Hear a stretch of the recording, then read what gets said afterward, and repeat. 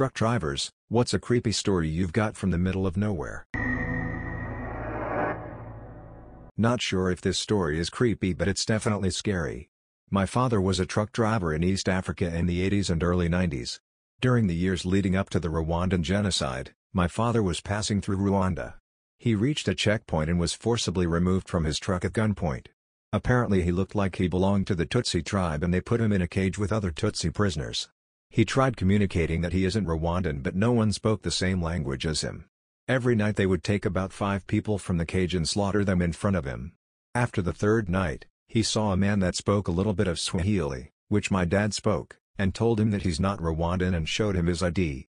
Somehow that guy got him out and he was handed the keys to his truck and was on his way. Driving through an abandoned section of Baltimore at 3 in the morning, my CB radio turned itself on and crackled for a bit. Out of nowhere some voice over the radio said in a deep southern drawl, I ain't got no panties on. I could see up and down the interstate for miles and saw not one set of headlights.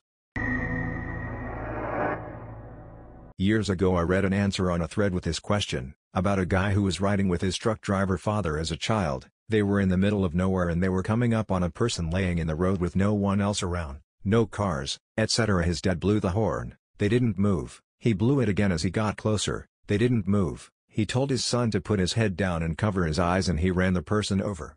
When they looked back a bunch of people who were previously hiding were running out of the woods and the gist was that his dad knew it was a setup for a robbery or worse and wasn't chancing it with his child in the car. No clue if it was true or not, but I think about that story all the time. Driving through a national park in the middle of the night going through a slow stretch at about 30 km per hour. Every so often I think I see something put the my window and beside me.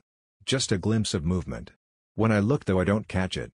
Finally on about the third time I whip my head around and this time I recognize it's a huge black wolf following alongside my truck just off the highway.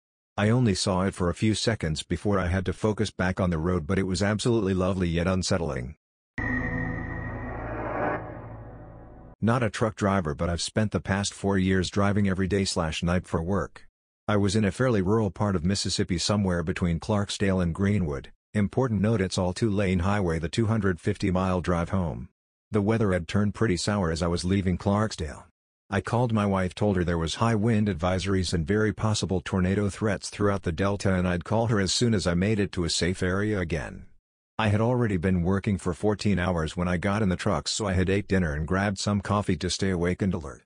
Now, if you've never driven through flat farmland at night for 100 miles, it's very fatiguing and spooky without inclement weather I had driven maybe 30 miles out into the farmland when hail started bouncing off my truck.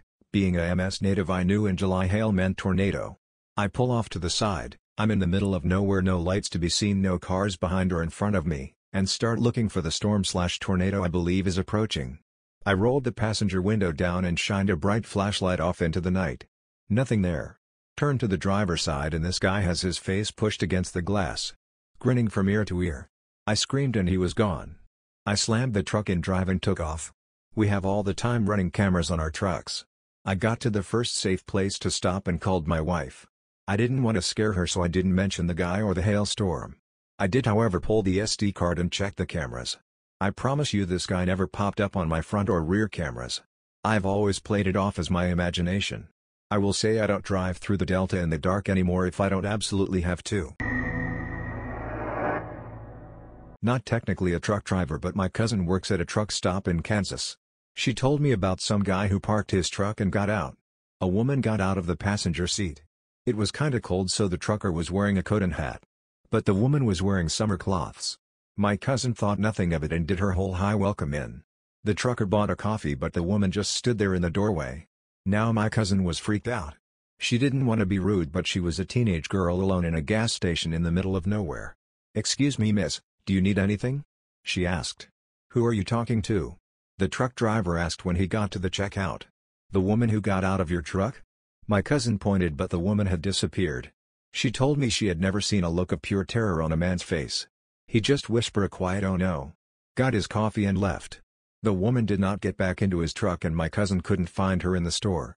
She says it was one of the most terrifying experiences she had ever had while on that job. The obligatory not a truck driver but a second-hand story I heard. My great-uncle drove big trucks, living in the middle of nowhere sometimes people would leave trash on the road. And since he had a big truck he'd just smash into said boxes or paper and continue on. One day he was coming up on a cardboard box and just had the urge to swerve and miss this one. He misses it and passes by with no incident, looks in his rear view to look at the box and out pops a kindergarten-age little kid. That just heads back to their house as nothing happened. My uncle was driving between Great Falls and Helena at around 3 a.m. He had his high beams on as it was a lonely drive and quiet highway. In the distance he saw something cross the median and started to slow his approach, thinking it was a deer.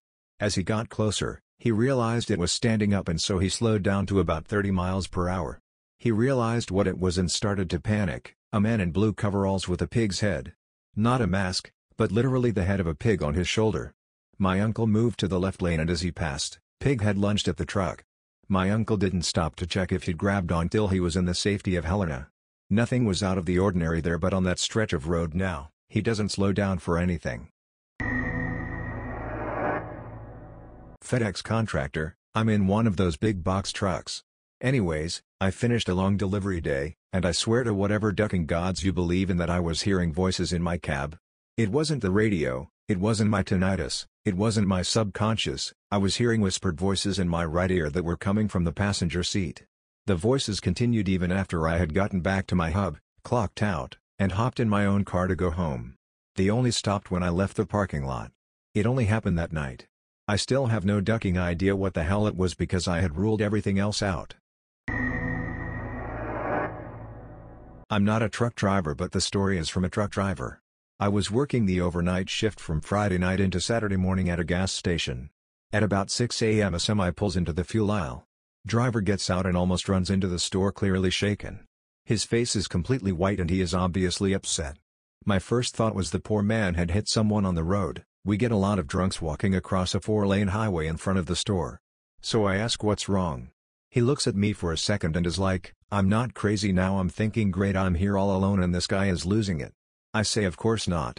I just saw something huge on the side of the road. Like a deer or bear? We had a bear get in the dumpster last week. No bigger than a bear on its back legs. Maybe a big person? It picked up a dead buck on the side of the road and carried it over its shoulder into the woods. I can only stare at him, my brain cannot deal with this information this late in a shift. A local comes up to the counter to get his usual and the guy tells him the story the local says, that's the Bigfoot that lives near the county line. The truck driver and I are both looking at this guy like he has two heads. He has to be joking. This trucker pays for his fuel at record speed and leaves never to be seen again. The local still insists it's Bigfoot. I just don't got in the woods cause I don't know. Not a trucker, but I had a college teammate from Miami tell a story that he swears on to this day. He and his girlfriend were making the drive to Naples late night, on a two-lane road through the Everglades and had been in a line of cars behind an 18-wheeler for multiple miles. She fell asleep and he was surfing for something to listen to on the radio. Only one station came in clearly enough to be tolerable, so he gave it a listen. The DJ came on and said something along the lines of the stars are extra bright in the Everglades tonight. If you're driving through there, pull off and take a look. He said he normally wouldn't even think of it, but for some reason felt compelled to that night. He woke up his girlfriend, she was annoyed and didn't want to but he convinced her it would be worth it. They stopped and just took in the stars for 5 to 10 minutes. He said it was the most amazing sky he's ever seen. They get back on the road and drive another few minutes and come across a massive accident. The truck they were following had jackknifed and took out a handful of vehicles that were following. He said there are multiple fatalities, but I've never been able to find a news story about it to confirm, probably would have been in 2005-ish. They most likely would have been involved if not for that random DJ on the only radio station to come in that night. My father's told me this story maybe a thousand times. My family, as well as a couple of uncles and my oldest cousin went on a trip from Mexico City to Acapulco when I was barely a year old. Back home in the middle of the night, ah, the good old days when you could travel at night, the car broke down, and a police car quickly came to our help. There were three policemen in the car, and the chief offered to take my dad to the nearest gas station, where he could find a mechanic, and told the other two officers to stay with our car. My dad says they seem absolutely not pleased with the order, until the chief told them don't worry, there's a woman and two children. That seemed to calm the two officers. Driving to the gas station on the police car, my dad asked the chief what was all that about. The chief told him that there had been many accidents in that part of the road, that's why they were able to find our car so quickly. All of the accidents involved young men traveling without female or child company. Those who had survived, said that they crashed because they could see a very beautiful woman next to the road, but once they came close to her, she turned out to be just a rotting corpse staring at them, and they crashed because they were paralyzed by fear. Thanks for tuning in to Reddit Streams. Hit the subscribe button and the notification bell for more videos. Share your views in the comments below.